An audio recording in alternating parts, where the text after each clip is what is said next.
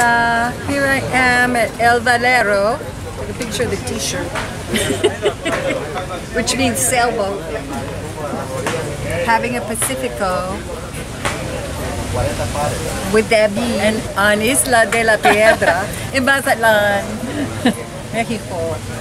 This is very beautiful here. Life is good. It is very, very good. En un momento. A ver,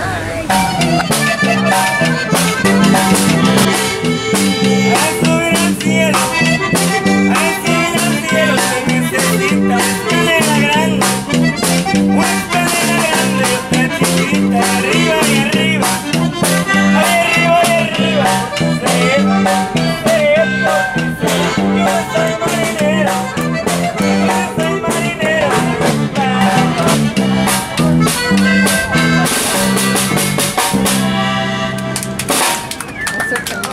Gracias.